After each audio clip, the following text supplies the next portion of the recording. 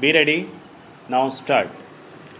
Mr. Vice Chairman, I also join in paying my tribute to the Bose Commission for doing this monumental work and giving us a report which is very revealing and which points to some of the glaring defects and deficiencies in our law and administration which has resulted in large scale fraud on the public as well as on the government.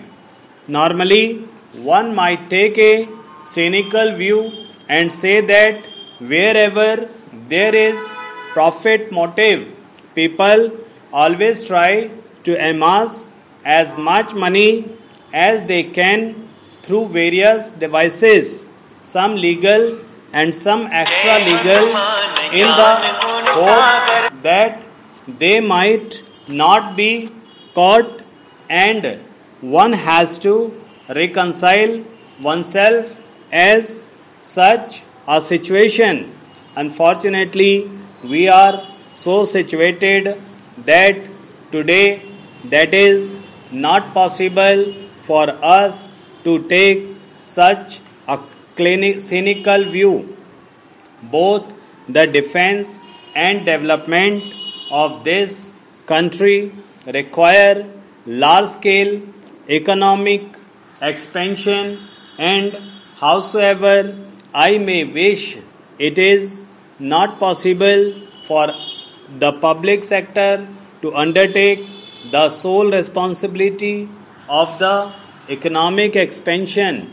We have therefore to depend upon the private sector, upon the corporate sector for our economic development, and if this sector does not play its part honestly and efficiently, it will not only be a question of moral turpitude of a personal character, but it would spell disaster to the country as a whole. We have therefore to take a very serious view of the defects and deficiencies that have been pointed out in the Commission's report. To my mind, this report has two aspects. One is to bring to book those who are found responsible for or who are found guilty of breaking the law and committing the fraud.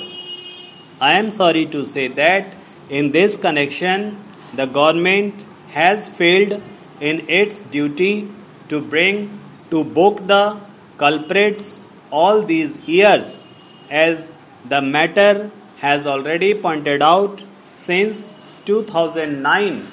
Rumors were heard about certain irregularities and breaches of laws by certain concerns. A very complicated and long drawn out machinery was put into motion in order to deal with the complaints. We had first certain investigations, then investigation by the CBI, then a commission, then another committee to give legal advice as to what should be done, and now again in inspection by the company law commission and by the CBI. Much precious time has been lost with the result that evidence is not available. Whatever one might do, it is now quite certain that the guilty would not be brought to book. I am not one of those who would advocate any historic prosecution of any person, whatever be the sentiment in the public.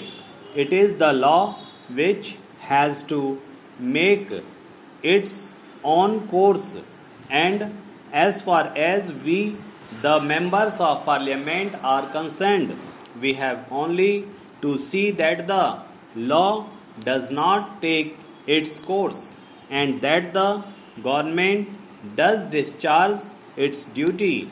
It is not for us to recommend who should be prosecuted and who should not be prosecuted because we as members of parliament are not competent to do so.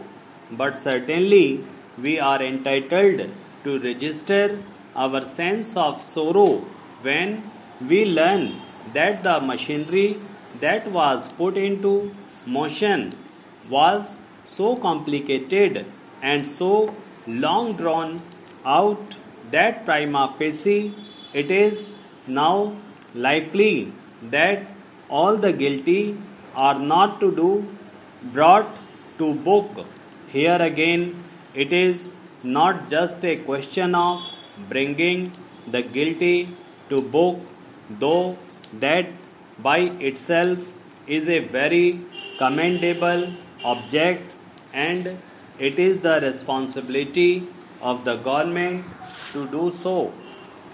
However, in the present circumstances, this has become very important because a feeling is growing in the community that you can do anything you like and get away with it, that the administration of law in this country has become so lax that it is possible for you to indulge in all sorts of malpractices. There is no fear of law in the minds of the public, especially in the minds of the business community. I am very sorry to say this.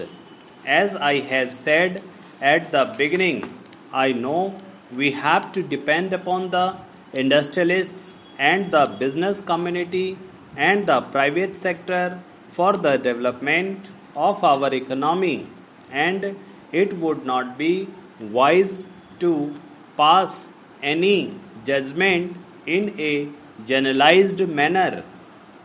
But with all sense of responsibility i am constrained to say that today at least in the industrial community and the business community respect for law has disappeared and a feeling has grown that you can do anything you like as long as you are clever enough to hide that you are doing.